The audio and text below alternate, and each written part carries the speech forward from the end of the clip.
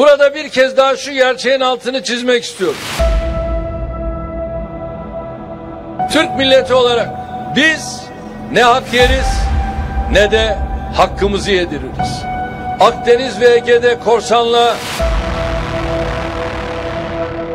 haydutla asla eyvallah etmeyiz. Akdeniz'de en uzun kıyı şeridine sahip ülkemizi kimse Antalya sahillerine hapsedemez. Milletimizin ve Kıbrıs Türklerinin denizlerdeki haklarını sonuna kadar savunmakta kararlıyız.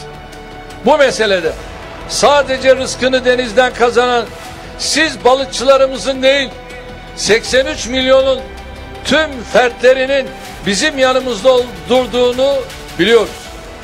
Eski sömürgecilerin gazına gelerek Türkiye'ye karşı efelenenlere de yakın tarihlerini yeniden okumalarını tavsiye ediyorum. Biz üç tarafı denizlerle çevrili olan iklim ve coğrafi olarak sayısız imkan bahşedilmiş bir ülkeyiz.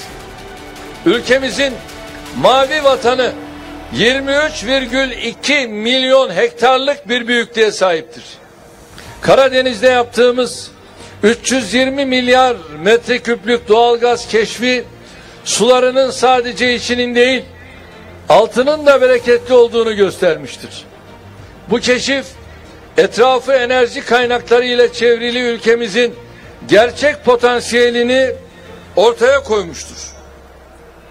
Tespit ettiğimiz rezervin çok daha büyük bir kaynağın müjdecisi olduğuna inanıyoruz. Bunun yanında Oruç Reis gemimiz de Doğu Akdeniz'deki sismik araştırma faaliyetlerini kararlılıkla sürdürüyor. İnşallah en kısa sürede Akdeniz'den de Karadeniz'deki gibi güzel haberler almayı ümit ediyoruz. Denizlerimizde 550, iç sularımızda 380'e yakın balık türü yaşıyor. Ticari avcılık yapılabilen balık sayımız yüzün üzerindedir. Su ürünleri sektöründe 18 binden fazla balıkçı gemisi, 2127 su ürünleri yetiştiricilik tesisi ve 255 su ürünleri işleme tesisi faaliyet gösteriyor. Sektör doğrudan veya dolaylı olarak 250 bin vatandaşımıza iş ve istihdam imkanı sağlıyor. Ülkemizde yıllık 600-700 bin ton civarında su ürünleri istihsal ediyoruz. Geçtiğimiz avcılık döneminde üretimimiz önceki seneye göre yüzde 48. Yetiştiricilik üretimimiz yüzde 19. Toplamda ise yüzde 33 gibi rekor bir seviyede artış gösterdi. Böylece 2019 senesinde 837 bin ton üretim hacmine ulaştık. Balıkçılık filomuzun Atlas Okyanusu'ndan Hint Okyanusu'na kadar açık sularda avcılık yapabilmeleri için 10 ülkeyle anlaşma imzaladık.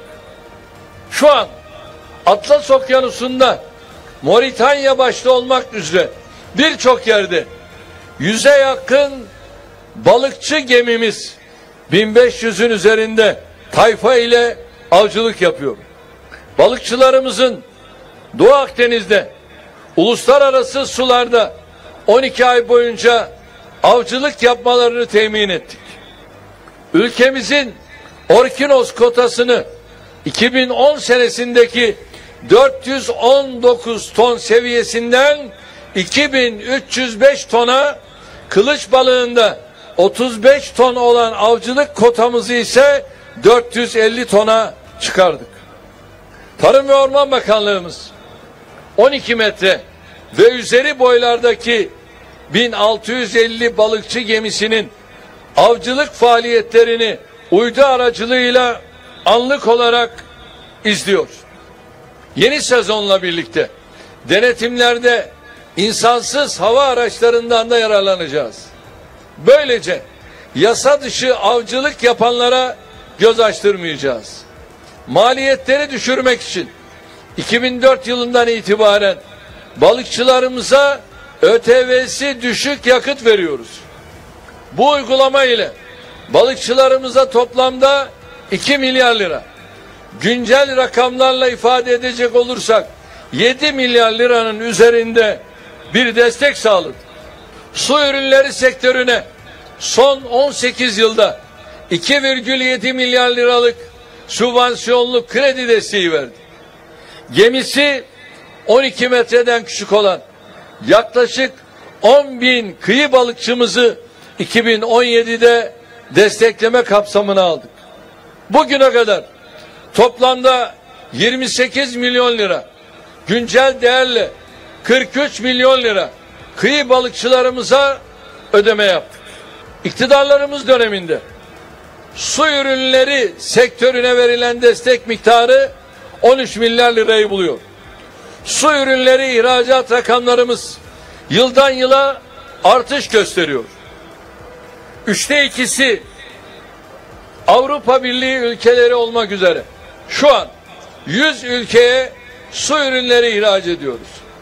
2023 senesi için belirlediğimiz 1 milyar dolarlık ihracat hedefini hamdolsun planlanandan 4 yıl önce yakaladık. Yeni hedefimiz 2 milyar dolardır. Allah'ın yardımı sizlerin de çabalarıyla bu rakamın üzerine çıkacağımıza inanıyorum. Geçen yılki sezon açılışında müjdesini verdiğim su ürünleri kanunu değişikliğini 1 Ocak 2020 tarihi itibariyle hayata geçirdik. Kanun değişikliğinin balıkçılığımız üzerindeki olumlu etkilerini üretimde artış olarak şimdiden görüyoruz. Kanunun yürürlüğe girdiği tarihten bugüne kadar kaçak av yapan yüzün üzerinde gemiye el koyduk. Covid-19 salgını sebebiyle geçerlilik süresi sona eren ruhsat tezkerelerinin vize ya da yenileme sürelerini uzatarak balıkçılarımızı mağdur etmedik. Su ürünleri avcılık sezonunun açılışını yapmaktan büyük memnuniyet duyuyorum. Sizlerin şahsında tüm balıkçılarımıza Mevla'dan bereketli ve başarılı bir sezon diliyorum. Bu geceden itibaren balıkçılarımız vira bismillah diyerek denizlere açılacak. Önümüzdeki yedi buçuk ay boyunca rızıklarını denizde arayacak.